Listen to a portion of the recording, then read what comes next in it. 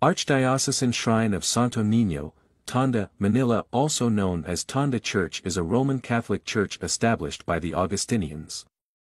The Augustinians convent in Tondo was approved by the provincial chapter on May 3, 1572. Its visitas were Lubao, Betis, and Calumpit. Fray Alonso Alvarado OSA was the first Augustinians religions to direct the church. In 1572, Tondo Church added visitas in northern suburbs, including Malolos, through Fray Diego Ordóñez de Vivar, Tondo extended its ecclesiastical territory to Morong.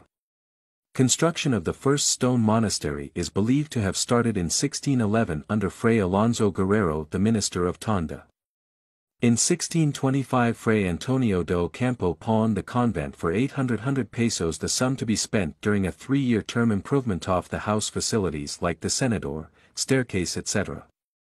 For years after, the church was in need of immediate repair because it was devastated again by the 1645 Luzon earthquake.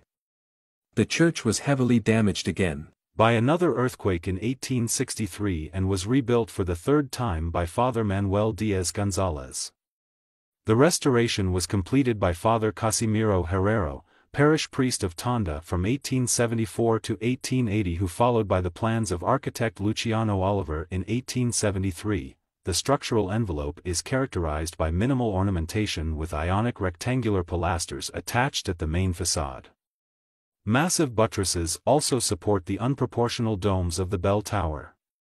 There are also blind arched openings that contrast with the rectangular voids and a triangular pediment. The neoclassical architectural style has its big influence to the construction of the church and convent. In its interiors it is composed of a main central nave that is flanked by two aisles that are by solid columns. The internal spans is 65 meters in length, 22 meters in width, and 17 meters in height. Tondo Church is located in Plaza Hernandez Tondo, Manila.